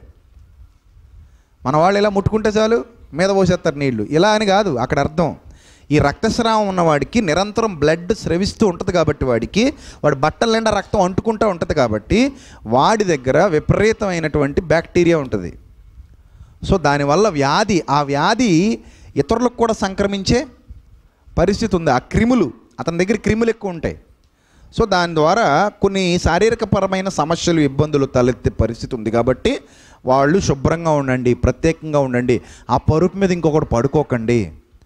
ఆ పరుపు మీద ఇంకొకటి పడుకుంటే మీకు ఇబ్బంది అవుతుంది అని చెప్పాడు. అంతేగాని అదేదో ఆ అపవిత్రత వాళ్ళు ఈ నరకానికి వెళ్ళిపోతాడని కాదు. ఈ శరీర సంబంధమైన విషయాలు ఇవి. ధర్మశాస్త్రంలో శరీర సంబంధంగా ఎలా జాగ్రత్తగా ఉండాలో కొన్ని వాస్తవాలు రాయబడ్డాయి. తర్వాత స్రావము గలదాని వాని దేహమును ముట్టువాడు తన బట్టలు ఉతుక్కొని నీళ్ళతో స్నానం చేసి సాయంకాలం వరకు అపవిత్రుడై ఉండును. అంటే దీని ద్వారా వాడికి ఒక ప్రాబ్లం ఉంది. వాడి ప్రాబ్లం ఉంది కాబట్టి వాడికి ఇన్ఫెక్షన్ ఉంటుంది. వాడి దగ్గర నుంచి ఏదైనా బ్యాక్టీరియా నీకు వస్తే నీకు ఇన్ఫెక్ట్ అవుతుంది నీకు ఇన్ఫెక్ట్ అవుతుంది నీకు ఇబ్బంది అవుతుంది. కాబట్టి వాడితో కొంచెం జాగ్రత్తగా ఉండండి. అలాగే పంతొమ్మిదో వచ్చిన పంతొమ్మిదో వచ్చిన స్త్రీ దేహమందు స్రావమైన ఎడల. ఆ స్రావము రక్తస్రావమైన ఎడల. ఆమె ఏడు దినములు కడగా ఉండవలను. ఆమె ఏడు దినములు కడగా ఉండవలను. ఆమెను ముట్టువారందరూ సాయంకాలం వరకు అపవిత్రులగుదురు. ఆమె కడగా ఉన్నప్పుడు ఆమె దేని మీద పండుకున్నది అపవిత్రము. ఆమె దేని మీద కూర్చుండున్నది అపవిత్రము. ఆమె పడకను ముట్టు ప్రతివాడు తన బట్టలు ఉతుక్కుని నీళ్ళతో స్నానం చేసి సాయంకాలం వరకు అపవిత్రుడై ఉండును. చూసారా ఇవన్నీ కూడా అటు స్త్రీలకు ఇటు పురుషులకు. ఇది క్రమంగా జరిగినప్పుడు. పురుషులకేమో క్రమం కాదు అది. అది రోగం వచ్చినప్పుడు జరుగుతుంది. స్త్రీలకు మాత్రం క్రమం. ఎప్పుడైతే ఇది క్రమం తప్పుతుందో అప్పుడు వాళ్ళ బాధ వర్ణనాతీతం. ఇప్పుడు ఆలోచించండి. ఇదే శ్రమ మీకు వస్తే మీరు తట్టుకోగలరా? ఇదే శ్రమ మీకు వస్తే మీరు ఏం చేస్తారు? ఆ శ్రమలో పన్నెండేళ్ళు బాధపడింది. ఇప్పుడు ఒక్కసారి ఈ బాధను దృష్టిలో పెట్టుకొని మీ బాధలు ఈ బాధతో తూకం వేయండి చెప్తాను? మీకున్న బాధలు ఏవైతే ఉన్నాయో ఆ బాధల్ని ఈ బాధతో తూకం వేయండి. ఏమున్నాయి బాధలు మీకు? ఏమున్నాయండి బాధలు? మొన్న ఒక విచిత్రమైన చావు చూశాను అనపర్తులు ఆ మధ్యకాలంలో. విచిత్రమైన ఉరి. ఎందుకు అనుకుంటున్నారు ఉరి? ఆ రోజు పెళ్ళి రోజు. భర్తను తొందరగా రమ్మంది సినిమాకి వెళ్దామని. ఆడు తొందరగా రాలే. ఏడైపోయింది. సినిమా ఏమైంది? అయిపోయింది ఆరున్నరకి వేసేస్తాడట పోస్ట్ అట. ఏడు గంటలకు అయిపోయింది. ఈడు ఏడున్నరకి ఎనిమిది గంటలకు వచ్చాడు ఇంటికి. ఈలోగా బెడ్రూమ్లో ఊరి శవం వేలాడుతుంది. రెండో రోజు సినిమా ఉండదా? సెకండ్ షో లేదా దరిద్ర కొట్టుదానా ఫస్ట్ షో పోయింది. సెకండ్ షోకి వెళ్ళలేవు. ఆయన తీసుకుని ఇంకెలాగో సినిమా పోచుకునేది ఆ సెకండ్ షోకి వెళ్ళొచ్చు కదా చచ్చిపోతా ఆ మాత్రానికి చచ్చిపోతారా? ఫస్ట్ షోకి తీసుకెళ్ళలేదని చచ్చిపోయిందండి. అంటే ఇలాంటి వాళ్ళు ఉంటారు అక్కడక్కడ. ఊరికే ఊరు పెట్టేసుకుంటారు ఊరికే. ఎందుకు చచ్చిపోయావు నువ్వు? ఊరికే. సరదా చచ్చిపోయా. సరదా చచ్చిపోతారా? ఇవి పెద్ద సమస్యలు ఇవి. ఏమంటే ఆవిడ సమ- ఆవిడ ఎన్నిసార్లు ఆత్మహత్య చేసేసుకోవాలండి సినిమాకి తీసుకెళ్ళలేదని చచ్చిపోతే ఆవిడ ఎన్నిసార్లు ఆత్మహత్య చేసేసుకోవాలి? కొట్టినందుకో తిట్టినందుకో మాట అన్నందుకో ఏదో అన్నందుకో డబ్బులు లేనందుకో ఆనందం లేనందుకో ఇబ్బందులు కొనుక్కోలేనందుకో ఉత్తు ఉత్తు ఉత్తు పుణ్యాన ఉత్తు చిన్న చిన్న విషయాలకి. చచ్చిపోవాలనుకుంటే ఎన్ని అవమానాలండి ఆవిడకి? ఎన్ని అవమానాలు? ఈ రోజుకి స్కూల్కి వెళ్ళటం మానేసేవాళ్ళు కాలేజీలకు వెళ్ళటం మానేసేవాళ్ళు ఉన్నారు ఆ పరిస్థితిలో. ఎందుకు? ఎక్కడ అవమానం అయిపోతాం అని. దానికి ఏదో తెగ సిగ్గుపడిపోతారు. తెగ సిగ్గుపడిపోతారు. మరి ఆ రోజుల్లో ఎంత సిగ్గుపడిపోయి ఉండాలండి ఆమె? ఆ మనిషి జనంలోకి రావటం ఇంకెంత ఇంకెంత దారుణం తెలుసా? జనంలోనికి ఎలా రావాలండి అసలు? ఈ దౌర్భాగ్యపు సమాజంలో అర్థం చేసుకోలేని ఈ సమాజంలో తప్పు చేసినట్టు చూసే ఈ సమాజంలో. అది దైవ కార్యమే కదా దేవుడు ఏర్పరిచిందే కదా మన కడుపులో. మనం ఏమైనా చేసుకోగలమా దాన్ని? దేవుడు ఏర్పరిచాడు మన కడుపులో. అది దైవ కార్యమే కదా దేవుడు చేసిందే కదా అది సృష్టిలో భాగమే కదా అని ఆలోచించలేని ఈ విలువల్లేని సమాజంలో మూసు కూర్చుని ఒక మూ మోస పద్ధతిలో మూసు కూర్చున్నటువంటి సమాజంలో ఆమె ఆ రోజుల్లో ఎలా బతుకుంటుందండి? ఎవరంటే అర్థం చేసుకుంటారు ఆమెని? ఎవరు అర్థం చేసుకుంటారు? ఎలా బతుకుని ఉంటుంది ఆమె? ఆలోచించండి ఒక్కసారి. అలాంటి సిచ్యువేషన్లో దారి లేక గతి లేక సమాజంలోకి అడుగుపెట్టింది ఎంత జనాలు ఉన్నారట చూడండి మార్క్స్ వార్త. మార్క్స్ వార్త ఐదవ అధ్యాయం. మార్క్స్ వార్త ఐదవ అధ్యాయం. ఇరవై? ఇరవై ఏడు. ఆమె యేసును గూర్చి విని ఎవరో చెప్పారు? ఎవరికి పడితే వాళ్ళకు రోగాలు తగ్గించేస్తున్నాడట ఒక ప్రవక్త. ఒక దైవ కుమారుడు ఒక మహానుభావుడు ఇలా రకరకాలుగా చెప్పుకుంటున్నారు. అలా చెప్పుకుంటుంటే ఆమె యేసుని గురించి వింది. నేను ఆయన వస్త్రములు మాత్రము ముట్టిన బాగుపడుదును అనుకొని నేను ఆయన వస్త్రములు మాత్రము ముట్టిన బాగుపడుదును అనుకొని జన సమూహములు ఆయన వెనుకకు వచ్చి ఆ జన సమూహంలో ఎంత అవమానపరచబడి వచ్చిందో చూసిన వాళ్ళు ఎంత అసహించుకున్నారో ఆమెని. ఎంత అసహించుకున్నారో ఆమెని. రక్తస్రావం బయటికి కనబడే వ్యాధి. కనబడని వ్యాధి కాదు ఇది. ఆమె బట్టలు తెలియజేస్తాయి. సో ఆమె ఎంత ఇబ్బంది పడుతూ ఆమె వచ్చిందో పాపం అక్కడికి. ఆమె ఆయన వెనుకకు వచ్చి ఆయన వస్త్రము ముట్టెను. వెంటనే ఆమె రక్తధార కట్టిన గర్భాశయం మొత్తం సెట్ అయిపోయింది. ఆ గర్భాశయం మొత్తం సెట్ అయిపోయింది. ఆ వ్యవస్థ మొత్తం సెట్ అయిపోయింది. సెట్ అయిపోయి ఆ రక్తధార కట్టిందట. కట్టెను గనుక ఆ తన శరీరములోని ఆ బాధ నివారణ అయినదని గ్రహించుకొనిను పన్నెండేళ్ళ బాధ అంటే. పన్నెండేళ్ళ బాధ. ఆ శ్రమను ఓర్చుకుంది ఓర్చుకుంది ఓర్చుకుంది అలవాటైపోయింది ఇంకా ఆమెకి. ఓర్చుకుని అలవాటైపోయింది. ఆ తర్వాత వెంటనే యేసు తనలో నుండి ప్రభావము బయలు వెళ్ళనని తనలో తాను గ్రహించి జనసమూహము వైపు తిరిగి నా వస్త్రములు ముట్టినదెవరని అడుగగా ఆయన శిష్యులు జనసమూహము నీ మీద పడుచుండు చూచున్నవే నన్ను ముట్టినది ఎవడని అడుగుచున్నామంటే ఎంతమంది ప్రజలు ఉన్నారు చూడండి అక్కడ. చుట్టూ చుట్టూ ప్రజలు ఉన్నారన్నమాట జనసమూహాలు నీ మీద పడిపోతున్నారు కదా ఎవరు నన్ను ముట్టుకున్నారని అడుగుతావేంటి ప్రభు అని అడుగగా ఆ అప్పుడు ఆ కార్యము చేసిన ఆమెను కనుగొనవలనని ఆయన చుట్టూ చూచినప్పుడు ఆ స్త్రీ తనకు జరిగినది ఎరిగి భయపడి వణుకుతూ వచ్చి ఆయన ఎదుట సాగిలపడి తన సంగతి అంతయు ఆయనతో చెప్పాను ఆయనకి తెలియక తెలుసు ఎవరికి తెలియాలి? ఈ జన సమూహాలకు తెలియాలి. తన సంగతి అంతయు ఆయనతో చెప్పిన అయ్యా నేను పలానా డాక్టర్ గారి దగ్గరికి వెళ్ళాను పలానా ఊరు పలానా డాక్టర్ గారి దగ్గరికి వెళ్ళాను ఎన్నో వైద్యుల దగ్గరికి వెళ్ళాను నా డబ్బులన్నీ అయిపోయి నన్ను ఎవరూ పట్టించుకోలేదు నన్ను అయిన వాళ్ళందరూ వదిలేశారు నన్ను అందరూ అవమానంగానే చూశారు నన్ను ఎవరు దగ్గరికి రానివ్వలేదు కనీసం నన్ను ఎవరు ముట్టుకునేవాళ్ళు కూడా కాదు నేను ఒక అపవిత్రురాలిని నన్ను ఎవరు ముట్టుకోరు నన్ను ఎవరు దగ్గరికి రానివ్వరు నా పరిస్థితి ఎంత భయంకరంగా ఉంటుంది నేను తినే తిండి అంతా ఇదిగో ఇలా నీరసం అయిపోతుంటాను. నా పరిస్థితి అసలు బాగాలేదు నా జీవితం అసలు బాగాలేదు ఎవరో చెప్పారు మీ దగ్గరికి వెళ్తే నేను బాగుపడతానని. నేను వచ్చాను మిమ్మల్ని ముట్టుకున్నాను. ఇదిగో నా శరీరంలో నా రక్తధార కట్టింది అన్న భావం నాకు కలుగుతుంది. నా బాధ నివారణ అయిందన్న భావం నాకు కలుగుతుంది. నాకు నా వ్యాధి తగ్గిపోయిందన్న భావన నాకు కలుగుతుంది అని ఆయనతో చెప్పినప్పుడు అందుకైన కుమారి కుమారి నీ విశ్వాసము నిన్ను స్వస్థపరిచెను. అమ్మా నీ విశ్వాసము నిన్ను స్వస్థపరిచెను. కుమారి నీ విశ్వాసము నిన్ను స్వస్థపరిచెను. సమాధానము గలదానవై పొమ్ము. నీ విశ్వాసమే నేను స్వస్థపరిచింది. నువ్వు సమాధానము గలదానవై పొమ్ము. నీ బాధ నివారణే నీకు స్వస్థత కలుగునుగా కానీ ఆమెతో చెప్పాను. చూసారా ఆ శ్రమను ఓర్చుకుంది ఆ ఓర్పు ఒక పరీక్షను ముందు పెట్టింది. ఆ పరీక్షలో నుంచి ఒక గొప్ప నిరీక్షణ ఆమెకు లభించింది. ఎప్పటికైనా తగ్గుతుందనే ఆశ ఆమెను అలా బతికించింది.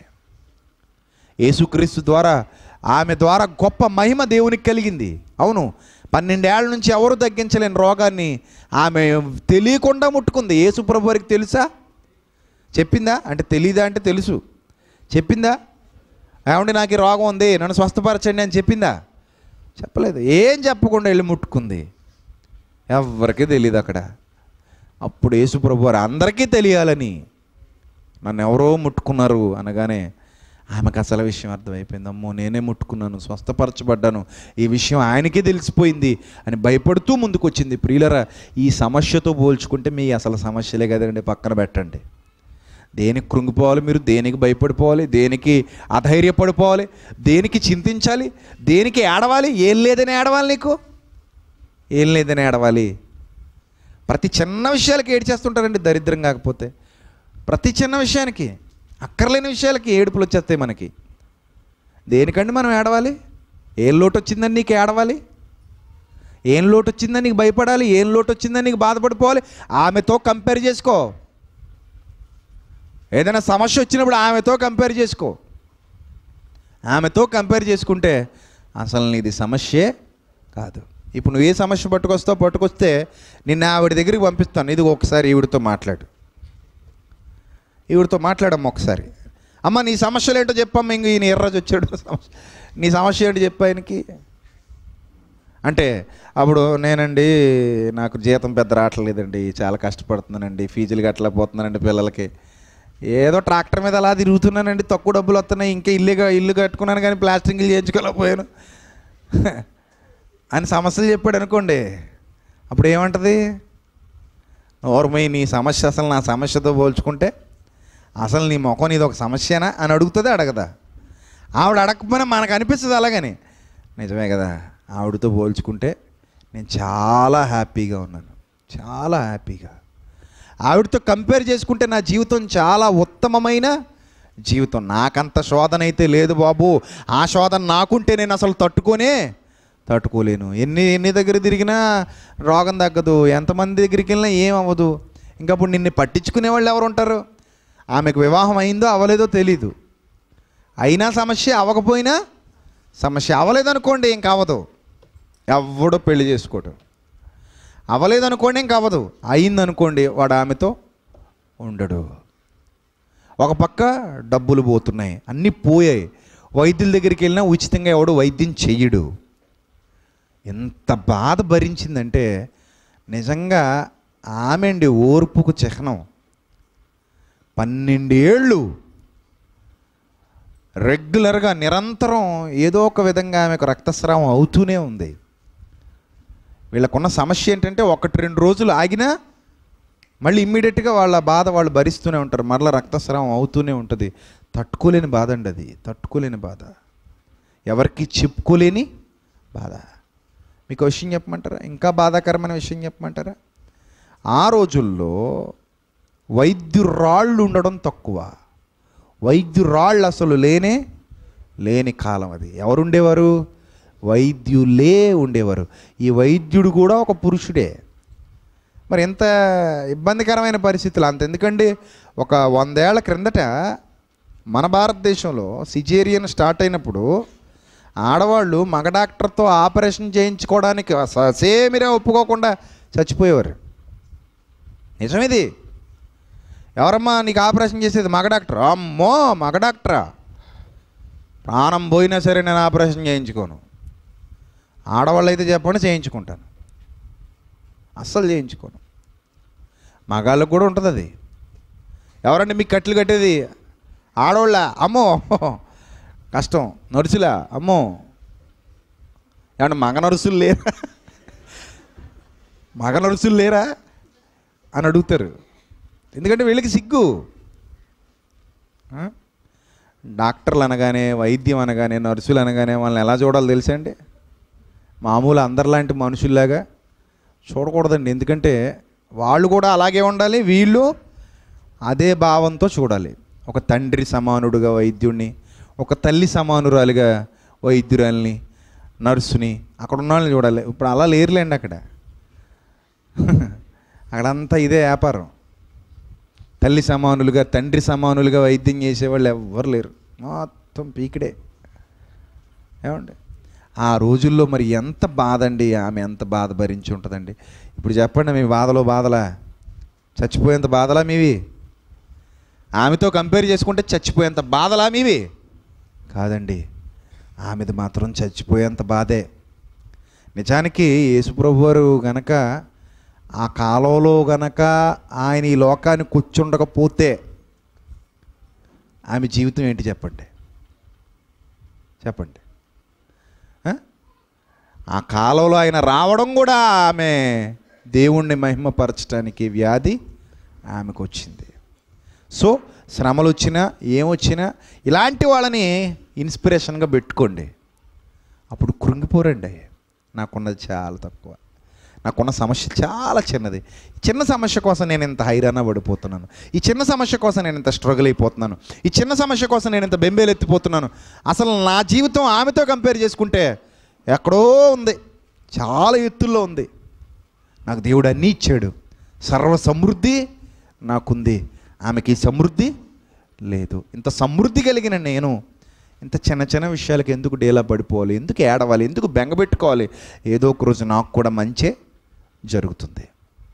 శ్రమ పరీక్షను పరీక్ష శ్రమ ఓర్పును ఓర్పు పరీక్షను పరీక్ష నిరీక్షణను కలుగజేయనని శ్రమలందు అతిశయపడదుము అన్నాడు పౌలు. ప్రియులరా ఈరోజు కూడా క్రైస్తవులైనందుకు అనేకమైన శ్రమలు వస్తాయండి అవి ఏ ఇబ్బందులైనా కావచ్చు సాతాను శోధన కావచ్చు శరీర సంబంధమైన ఇబ్బందులు కావచ్చు లోక సంబంధమైన ఇబ్బందులు కావచ్చు ఈ చీకటి లోకం వల్ల మనకు ఎదురయ్యే ఇబ్బందులు కావచ్చు. ఏదైనా కానివ్వండి శ్రమ శ్రమే. ఏదైనా కానివ్వండి ఏదొచ్చినా ధైర్యంగా ఎదుర్కోగలిగే సామర్థ్యం మనలో ఉండాలి ప్రియులరా. అంతేగాని ఒక చక్రం గీసుకుని అందులో మునిగిపోయి ఒక ముసుగు బతుకు బతుకుతూ ఏది మాట్లాడడానికి సంకోచిస్తూ మనం మనం మన మనసుకి వేసేసుకుంటున్నామండి మొదట మాస్క్. మన మనసుకి వేసేసుకుంటున్నాం మాస్క్. మనసుకు మాస్క్ వేసుకుని బతకటం న్యాయం కాదు ప్రియులరా. ఈ సమస్య కంటే ఘోరమైన సమస్య నీకు లేదు. ఈమెకున్న సమస్య కంటే ఘోరమైన శ్రమ నీకు లేదు. కనుక దేనికి చింతపడొద్దు? దేనికి భయపడొద్దు? ధైర్యంగా ఎదుర్కోండి. దేవుని సహాయం మీకు లభిస్తుంది. తలలో వంచండి. ప్రార్థన చేసుకుందాం. క్రీస్తునందు మమ్మల్ని అతిమిక్కిలిగా ప్రేమించిన మా ప్రియ పరలోకపు తండ్రి. ఆకాశ మహాకాశాలకు సృష్టికర్తమైన మా దేవ మీ పవిత్ర నామానికి మీ పరిశుద్ధ నామానికి.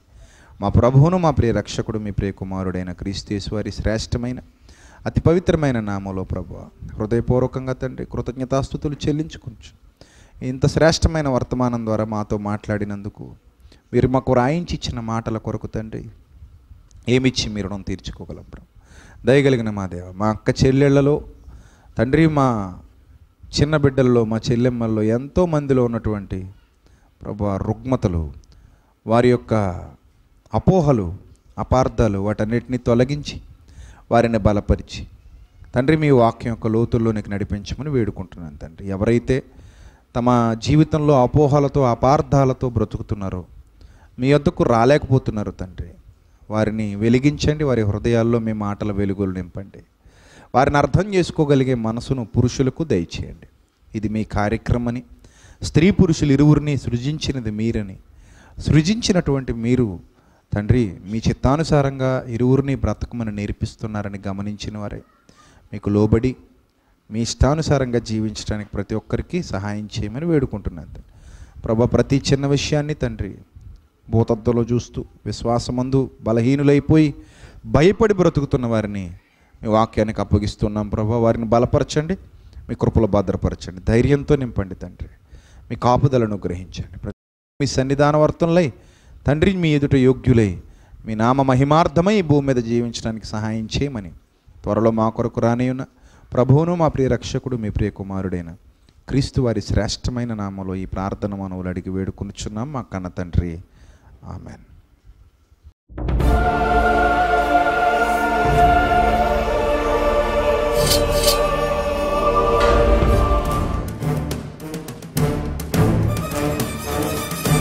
ఆది నీవే అంతం నీవే ప్రభవం నీవే ప్రళయం నీవే అల్ఫయు నీవే ఓమఘయు నీవే విలయం నీవే స్థిర నీవే.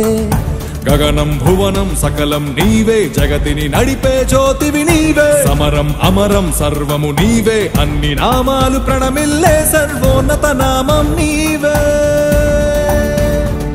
సర్వోన్నత నామం నీవే. సర్వలోక న్యాయాధిపతి సర్వలోక న్యాయాధిపతి సర్వలోక న్యాయాధిపతి సర్వలోక న్యాయాధిపతి. సర్వలోక న్యాయాధిపతి వాకిట నిలిచియున్నాడు. జనములందరికి ఫలమిచ్చుటకు తీర్పు తీర్చబోతున్నాడు. సర్వలోక న్యాయాధిపతి వాకిట నిలిచియున్నాడు. జనములందరికి ఫలమిచ్చుటకు తీర్పు తీర్చబోతున్నాడు. వేల దూతలతో బూరధ్వనులతో మేఘమండలము పైన యూదా గోత్రపు కదవ సింహముతో కదలి వస్తుంది సేన. క్రీస్తు న్యాయపీఠం ఎదుట ప్రత్యక్షం కావాలందరూ క్రీస్తు న్యాయపీఠం ఎదుట ప్రత్యక్షం కావాలందరూ.